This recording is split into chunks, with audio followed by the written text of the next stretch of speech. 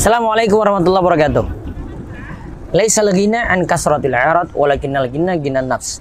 Kata Nabi Shallallahu alaihi wasallam, namanya kaya itu bukan dengan banyaknya harta dengan harta yang menumpuk dengan rekening yang banyak. Dengan isi rekening yang banyak. Namun yang namanya uh, kaya atau ghina atau kita sebut dengan kona'ah yaitu hati yang selalu merasa cukup. Merasa cukup bagaimana? Yaitu kita bersyukur dengan sesuatu yang sedikit. Nah, ini akan kita sadari kalau kita unzuru ila man huwa asfala minkum. Kita melihat sabda Nabi SAW tadi, lihatlah pada orang-orang yang berada di bawah kalian. Nah, kadang kita perlu berjalan kemudian melihat sekitar kita.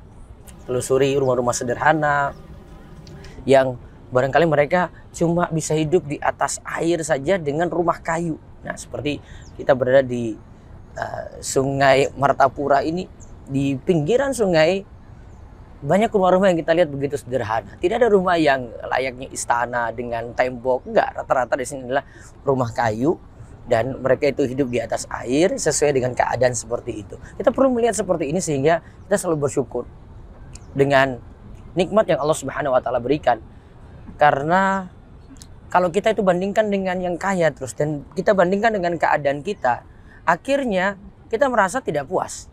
Oh, kok saya rezekinya gini ya? Kapan saya punya mobil itu ya? Kapan saya punya motor itu ya? Kapan saya punya rumah layaknya istananya sultan ya? Ah, namun kalau kita merenung dengan sederhana hal kayak tadi, kita akan bersyukur, ya Allah, ternyata rumah saya ini masih lebih bagus daripada rumah ini. Ternyata kendaraan saya masih lebih bagus daripada kendaraan ini. Nah, itulah yang namanya kona'ah. Nerimo. Kita mensyukuri mulai dari sesuatu yang sedikit.